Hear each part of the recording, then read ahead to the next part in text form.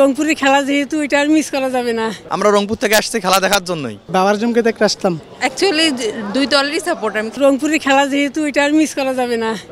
তাই যে একটু আনন্দ উপভোগ করি ডাক্তার দেখে চলে যাব। আমার সবাইকে ভালো লাগে সবাই ভালো খেলে সবাই আমাদের দেশের ছেলে। সাকিব থাকলে তো সাকিবের জন্যই আসা হলো কিন্তু দেখা গেছে ওর তো অসুস্থতার কারণে ও আসেনি।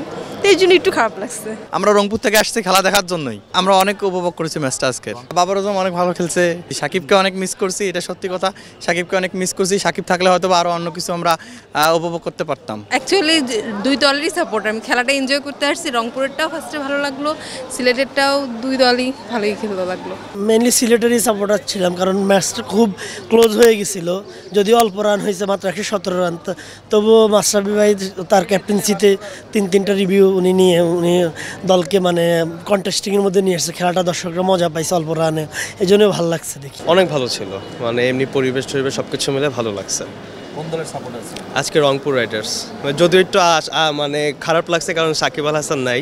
ওর চোখের প্রবলেমের জন্য আসতে পারে নাই। যাক ভালো লাগছে খেলা। আজকে তো খুব বাজে ছিল কারণ তার ফিটনেসটা ভালো না। এই বিপিএলে এবং সে যেহেতু প্রিপেয়ার্ড ছিল না এই খেলার জন্য। সে নির্বাচনের জন্য প্রিপেয়ার্ড ছিল।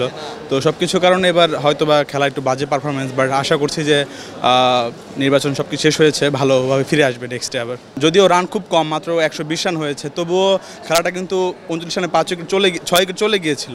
তো সেক্ষেত্রে আমাদের কাছে মনে হচ্ছে বাবর আজমকে আউট করতে পারলে আমরা হয়তো আগে জিতে যেতে পারতাম। জি, আলহামদুলিল্লাহ, অনেক ভালো লাগছে। সাকিব নেই, একটু খারাপ লাগছে।